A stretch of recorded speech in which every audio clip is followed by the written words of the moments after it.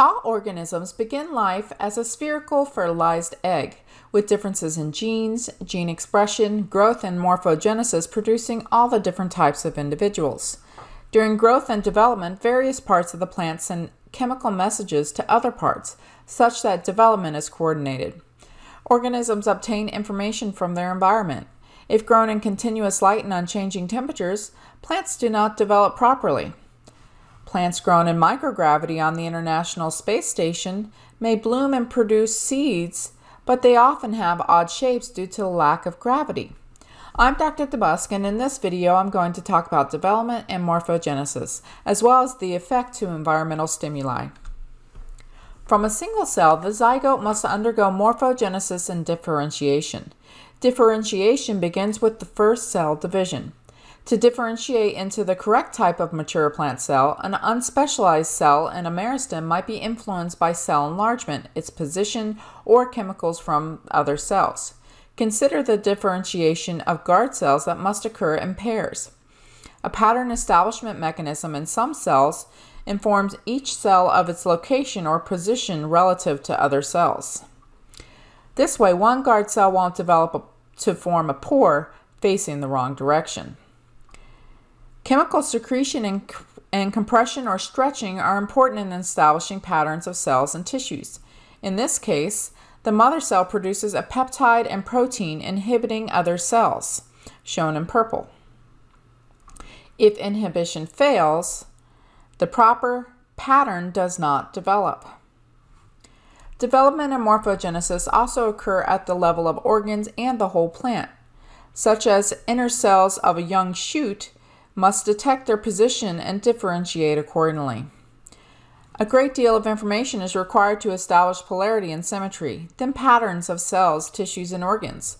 All plants have the capacity to, to, detect at least some environmental factors and alter their development and morphogenesis in adaptive ways. Most plants exist in several different microenvironments. Consider a small tree. Its roots are in the soil, which is moister, cooler, and darker than air, while the highest branches are in open air exposed to full sunlight and extreme environmental conditions. Turn perception, the plant must sense environmental cues such as changes in temperature, moisture, or day length, or the nucleus must receive chemical signals if conditions in the surrounding cytoplasm change. Next, information must be transduced or changed to a form that can either be either be either acted upon or transported. Finally, there must be a response. The plant must enter dormancy, produce flowers, change the type of leaf production, and so on. If any of these steps is missing, the plant cannot respond to the environment.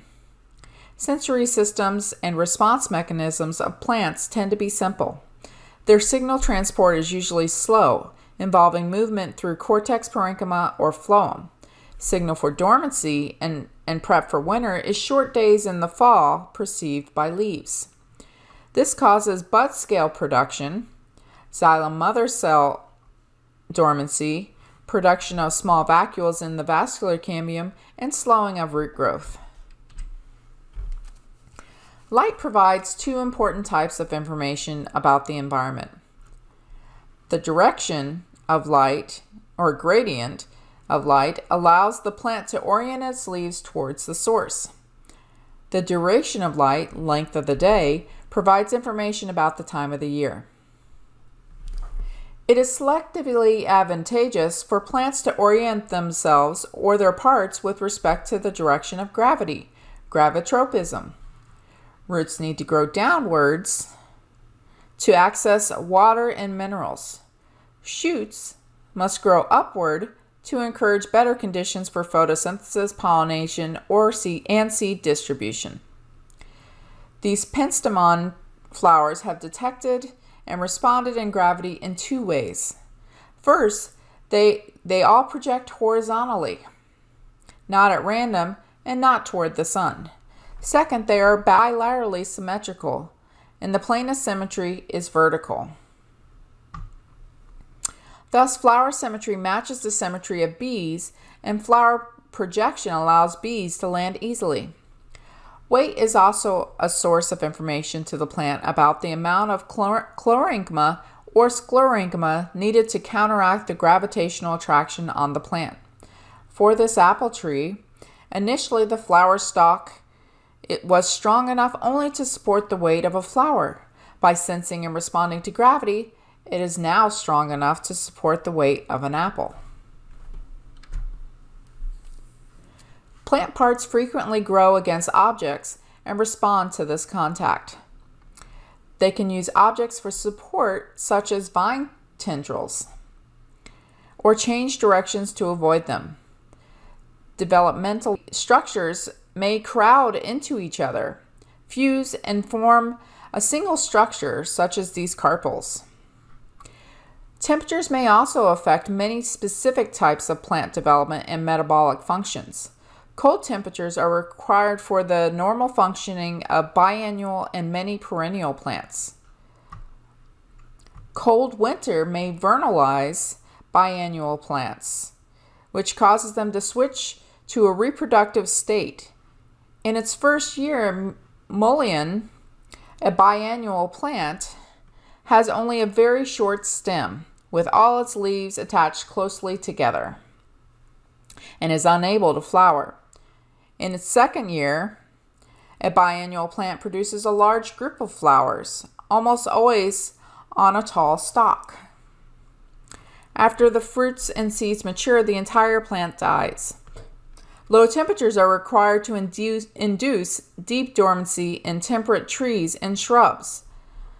Cool temperatures are required to break the dormancy of many seeds. The presence of water probably does not act like a signal in the same way as other factors. Roots never actually grow toward water, but instead grow in all directions. Those that happen to grow towards water grow more rapidly because of the favorable environment. Water scarcity triggers plant responses that help the plant cope with water stress. Abscisic acid triggers closure of stomatal pores inhibits production of new leaves or thicker cuticles, and abscission of leaves. Plants respond to the diverse types of information present in the environment in a number of ways. A tropic response is a growth response oriented with regard to the stimulus. Positive tropism is growth toward a stimulus, while negative tropism is growth away from the stimulus. Plagiotropism is growth at an angle. The central shoot of this tree grows vertically, probably due both to both positive phototropism and negative gravitropism, but the branches grow at an angle to the vertical, plagiotropically. Construction of porch steps trap these plants. But by growing toward light, positive phototropism, their shoot tips found spaces between boards and emerged from a suboptimal dark environment to a more suitable sunny environment. Pollen tubes of flowering plants may display positive chemotropism. Thigmotropism is growth in response to touch exhibited by tendrils. Tropic responses often involve a change in direction of growth, which involves differential growth. Growth on the contact side slows, and growth on the opposite side accelerates. A nastic response is a stereotyped non growth response that is not oriented with regard to the stimulus. For example, the trap leaf of this Venus flytrap has six large sensitive trichomes. If a fly or other insect touches any two of these, the trap closes.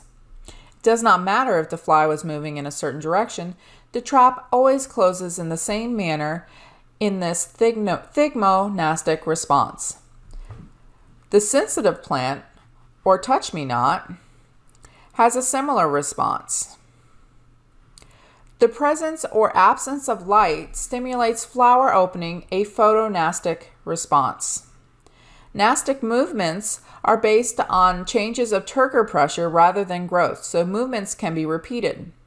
This occurs in many leaves that undergo sleep movements, with the blade elevated in the day, lowered at night. A morphogenic response causes a change in the metabolism of a tissue or even the entire plant. Photomorphogenic responses are numerous and cause induction of flowers, germination in dormant seeds, and buds to become dormant. Conversion from the vegetative to the floral condition is a common photomorphogenic response. Day length is controlled in these commercial greenhouses to ensure that all poinsettias bloom simultaneously at Christmas.